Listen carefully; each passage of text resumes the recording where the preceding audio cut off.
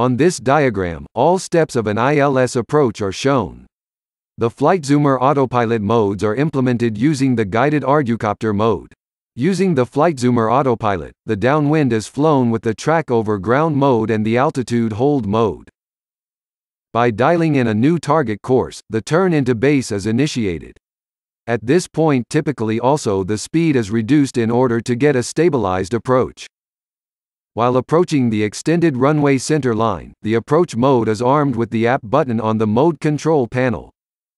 When crossing the runway center line, the autopilot automatically captures the ILS localizer and the approach mode changes from armed to activated.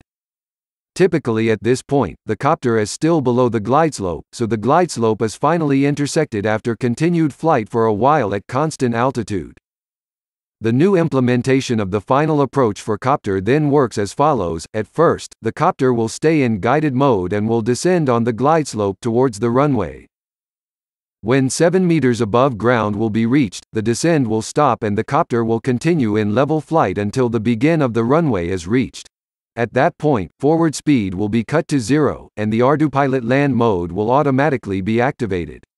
In land mode the copter will then simply perform a straight down descend until touchdown.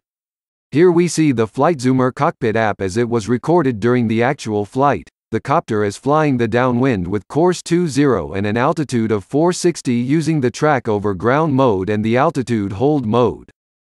Next follows the turn into base at 270 degrees. The target speed has already been reduced to 25 km per hour so the next step is arming the approach mode. There is no further manual step needed until touchdown so we can monitor how the copter is approaching the extended runway center line. The intercepting is timed automatically to end up on the localizer after the turn. On the primary display the magenta indicators show the lateral deviation from the localizer and the vertical deviation from the glide slope. We are intercepting the glide slope now and the final descend begins. At 7 meters above ground, the copter will stop descending and just continue in level flight until the runway threshold, as it was defined in the navigation database. When the runway threshold is reached, the Arducopter land mode is activated and the last straight down descend begins. Manual correction with the RC transmitter to adjust the touchdown spot is still possible. Next follows the recording of the same ILS approach from the onboard camera in full length.